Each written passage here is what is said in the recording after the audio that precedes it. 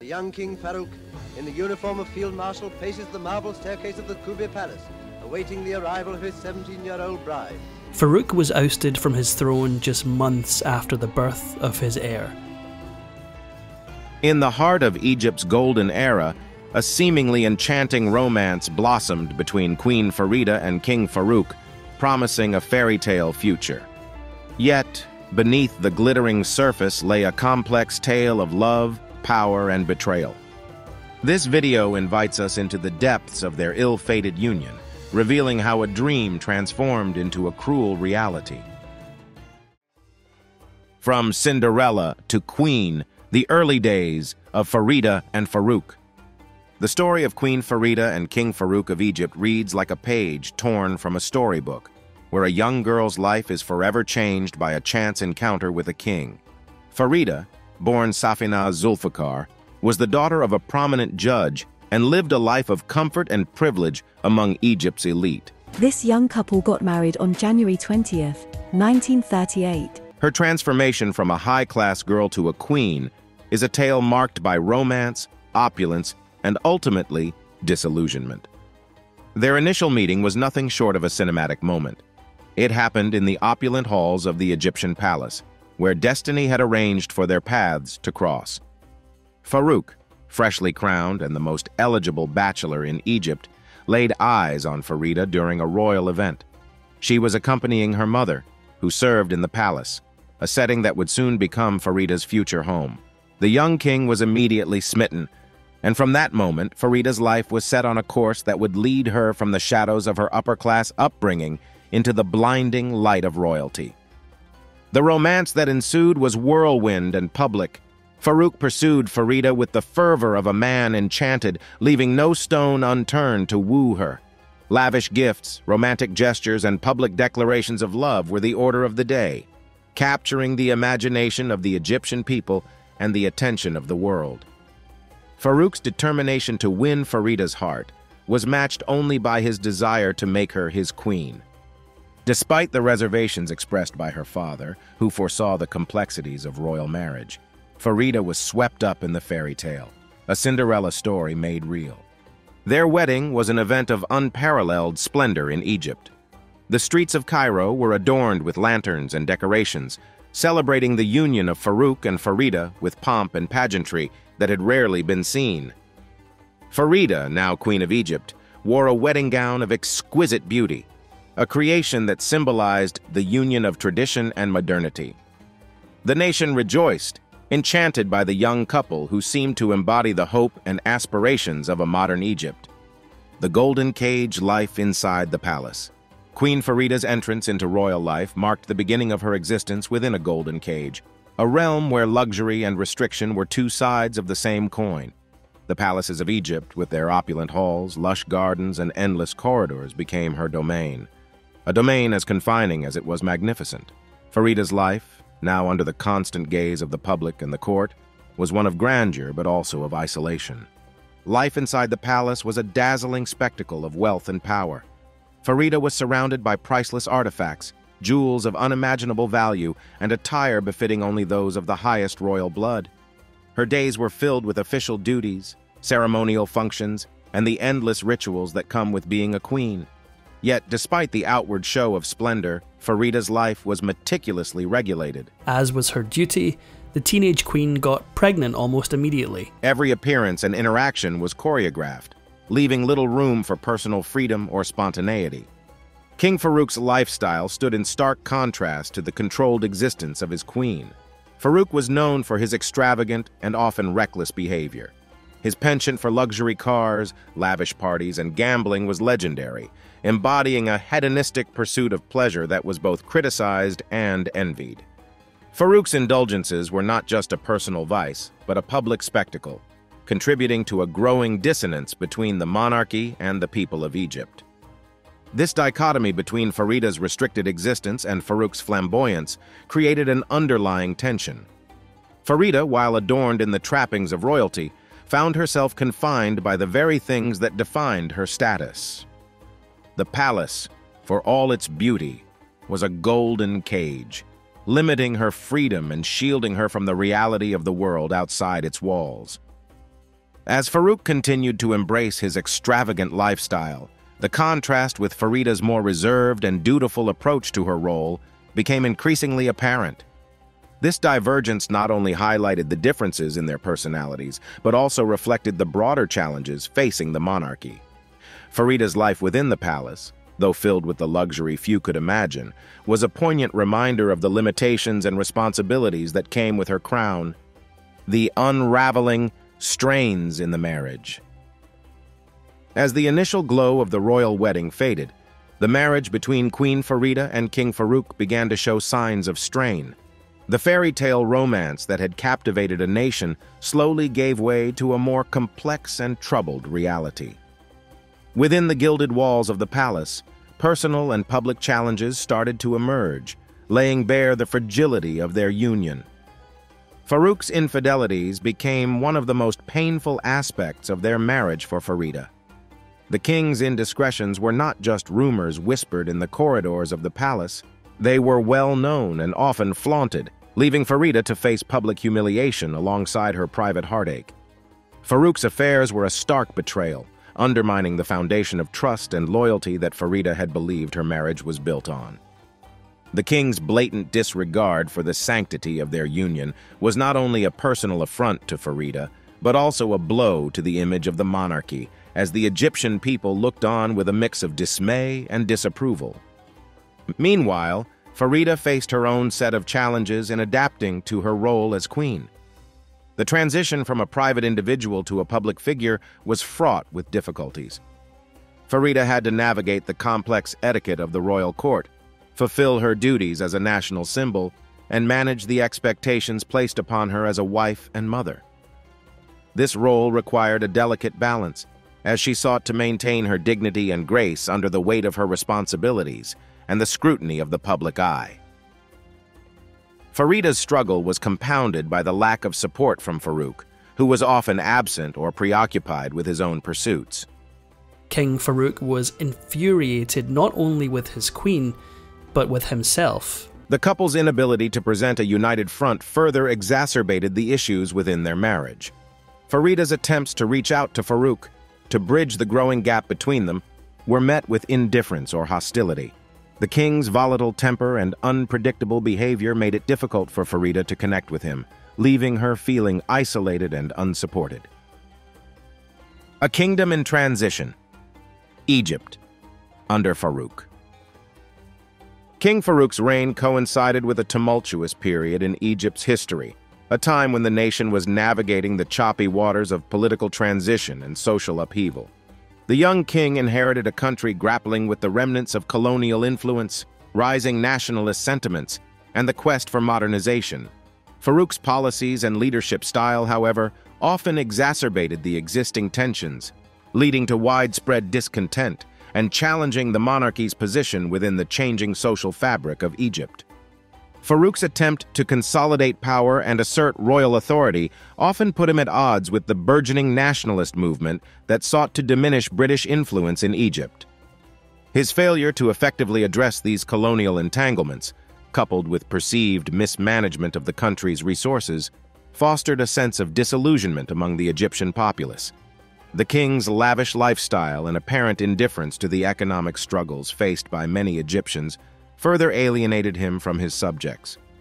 Stories of Farouk's opulence, contrasted with the hardships endured by ordinary people, fueled resentment and contributed to a deteriorating public image of the royal family. The royal family's public image was also tarnished by Farouk's personal indiscretions and the visible strains in his marriage to Queen Farida.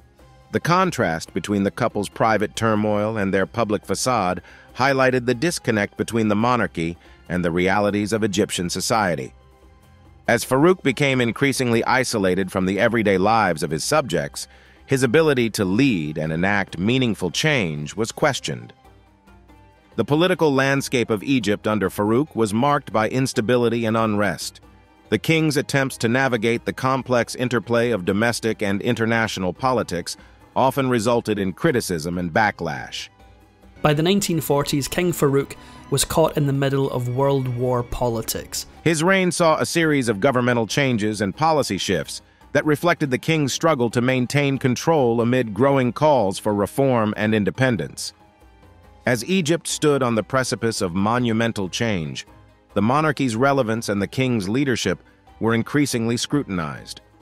The kingdom in transition was not just about the political and social shifts occurring within the country, but also about the transformation of the monarchy itself. The challenges faced by Farouk's reign, both personal and political, were emblematic of a nation in search of a new identity, striving to reconcile its rich history with the demands of a modern future. The fall of a dynasty, the divorce and its aftermath. The dissolution of Queen Farida and King Farouk's marriage marked not only the end of a personal relationship, but also symbolized the waning influence of a monarchy in the midst of national upheaval. The divorce, finalized in 1948, came after years of public speculation and private agony, casting a long shadow over the royal family's legacy and Egypt's political landscape. The announcement of their divorce sent shockwaves through Egyptian society and beyond. Farida and Farouk had been the golden couple, their marriage a symbol of the monarchy's prestige. However, the unraveling of their union reflected deeper issues within the royal family and the kingdom at large. Farouk's continued infidelities and the couple's apparent estrangement had been poorly concealed secrets, yet the finality of divorce brought a stark reality to the fore. The public reaction was mixed, with some expressing sympathy for Farida, viewing her as a victim of Farouk's excesses and the rigid expectations of royal life. Others saw the divorce as a sign of moral decay within the monarchy, emblematic of Farouk's inability to lead by example. The spectacle of the royal divorce contributed to an already growing disenchantment with the monarchy, undermining its authority and moral standing in the eyes of many Egyptians. For Farida, the divorce meant a departure from the royal life she had known. Though she retained her title and received a settlement, her life took a markedly different direction. Farida focused on her children and her art, seeking a quieter existence away from the public eye. Her dignity and resilience in the face of personal turmoil earned her a measure of respect and sympathy that Farouk, with his continuing indulgences and political missteps, increasingly lacked. For Farouk, the divorce did little to stem the tide of criticism facing his reign. His personal failings, magnified by the breakup of his marriage, fed into broader discontent with his rule. The monarchy's image was further tarnished, and Farouk struggled to regain the affection and respect of his people. The fallout from the divorce extended beyond the personal realms of Farida and Farouk, affecting the monarchy's stability and hastening its decline. The end of their marriage was a precursor to the broader societal and political shifts that would eventually lead to the revolution of 1952, which forced Farouk into exile and ended the monarchy in Egypt. The fall of a dynasty, precipitated by the collapse of a marriage, marked the close of one era and the uncertain dawn of another, as Egypt navigated its way towards a new identity. Life after royalty, Farida's independence. After her divorce from King Farouk, Queen Farida embarked on a journey of self-discovery and independence that marked a significant departure from her life within the confines of the Egyptian monarchy. Freed from the expectations and restrictions of royal duties, Farida found solace and expression in her art, becoming an accomplished painter. Her work, often reflective of her experiences and emotional landscape, gained recognition for its depth and sensitivity. Farida's art became a channel through which she could communicate her innermost feelings and perspectives, a stark contrast to her previously public life, where personal expression was often curtailed by protocol. Farida's transition to life after royalty was not without its challenges. The adjustment to a more private existence, while liberating, also meant navigating a world vastly different from the one she had known as queen. However, Farida embraced her new circumstances with grace and determination. She devoted herself to her three daughters, ensuring they received a stable upbringing despite the tumultuous changes. Her role as a mother was paramount, and she worked tirelessly to provide them with the love and support they needed. In addition to her artistic and familial commitments, Farida became involved in various charitable activities. Her efforts in this arena were indicative of her continued commitment to serving the Egyptian people, albeit in a different capacity than before. Farida's philanthropy and her art were closely linked, with proceeds from her exhibitions often donated to charity. This blend of creativity and compassion underscored Farida's multifaceted personality and her desire to make a positive impact. Farida's legacy is a testament to her resilience and versatility. Despite the hardships she faced, including her battle with leukemia that ultimately claimed her life in 1988, Farida's contributions to art and society remain enduring symbols of her strength and independence. Her journey from royalty to a more personal realm of influence highlights the profound transformations she underwent, embodying a story of renewal and self-empowerment. Farida's life after the monarchy serves as an inspiration, illustrating how personal adversity can be transformed into a source of creativity and altruism. Through her art, charity work, and the dignified manner in which she navigated her post-royal life, Farida left behind a legacy that continues to resonate, celebrating the spirit of independence and the power of personal reinvention. The Shadow of Exile, Farouk's Final Years.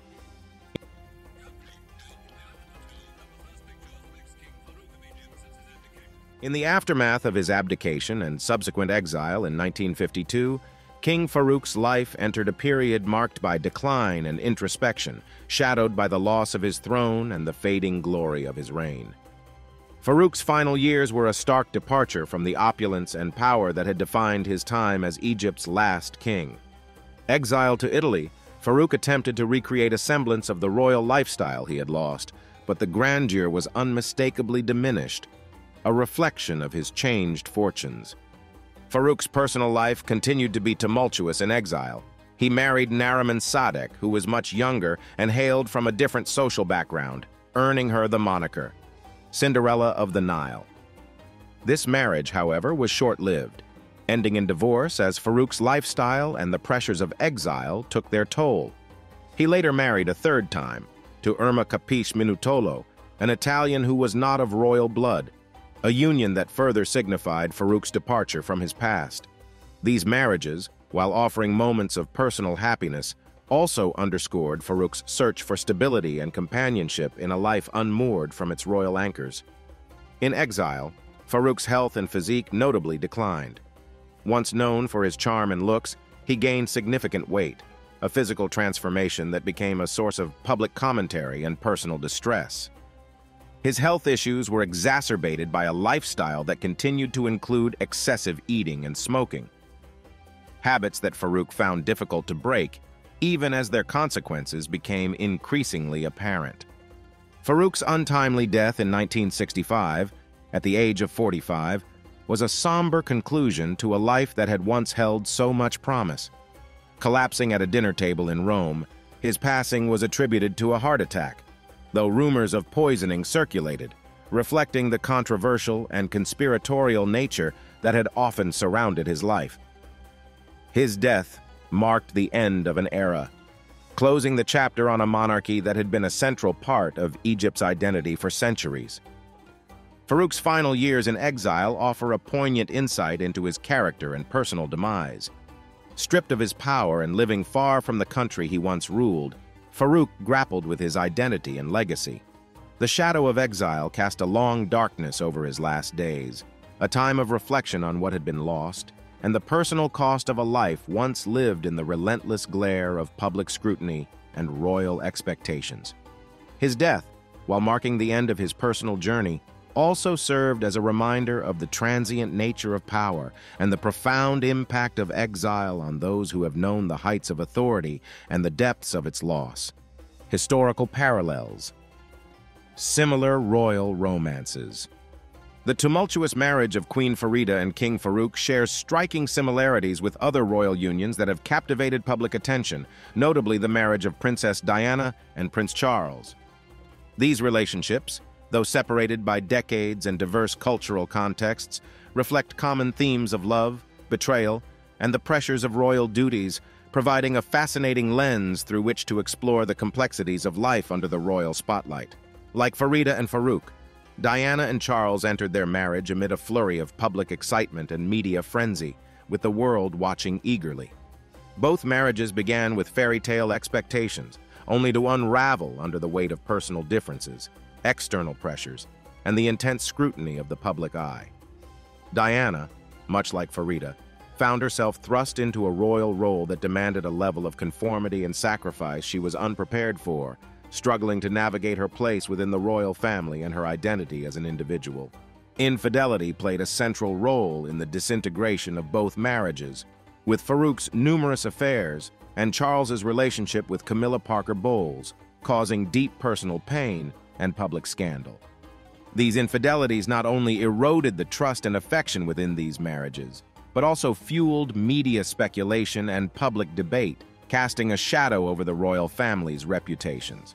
Moreover, both Farida and Diana channeled their experiences and personal struggles into meaningful causes, using their platforms to engage in philanthropy and to advocate for issues close to their hearts. Their ability to connect with the public on a personal level, coupled with their grace in the face of adversity, cemented their legacies as figures of compassion and resilience, transcending their roles within the monarchy. The parallels between these two royal romances underscore the universal challenges faced by those who marry into royalty, where personal happiness often clashes with public expectations and the demands of royal duty. These stories, though unique in their details, highlight the enduring fascination with the lives of royals and the complex interplay between love, power, and public perception in the highest echelons of society. The legacy of Farida and Farouk the marriage of Queen Farida and King Farouk and its eventual dissolution, left an indelible mark on Egyptian society and the institution of the monarchy. Their story, a blend of romance, drama, and tragedy, continues to resonate, offering insights into the complexities of royal life and the broader socio-political shifts in Egypt during the mid-20th century. Today, their legacy is multifaceted, reflecting the tumultuous period in which they lived and the evolving narrative of Egypt's royal past. The union of Farida and Farouk initially symbolized hope and continuity for the Egyptian monarchy, presenting a glamorous facade that captivated both the nation and the world. However, as their marriage unraveled amidst personal and public challenges, it mirrored the declining fortunes of the monarchy itself. Their personal failings and the public fallout from their divorce played into the growing disillusionment with royal governance, acting as a catalyst for the revolutionary sentiments that eventually led to the monarchy's abolition in 1952. In contemporary Egyptian society, Farida and Farouk are remembered with a mixture of nostalgia and critique. The fascination with their lives and the bygone era they represent persists, evident in the continued interest in their story through books, films, and popular culture. They are often portrayed as tragic figures, caught between the demands of their roles and their personal desires, highlighting the human aspect of their experiences against the backdrop of historical events. Their legacy also prompts reflection on what could have been, had their marriage survived, or had the monarchy adapted to the changing political landscape. Could a stronger, more united royal family have stemmed the tide of revolution? Would a more progressive approach to governance have preserved the monarchy in some form? These questions linger, fueling speculative debates about the potential paths not taken by Egypt's last king and queen. Moreover, Farida and Farouk's story serves as a cautionary tale about the pitfalls of power and the importance of personal integrity in leadership. Their lives underscore the consequences of personal actions on public institutions and the delicate balance between public duty and private happiness. As Egypt continues to navigate its post-monarchical identity, the legacy of Farida and Farouk remains a poignant reminder of a pivotal era in the country's history. Their marriage, with its highs and lows, offers enduring lessons on the complexities of life in the public eye and the impact of individual choices on national destiny.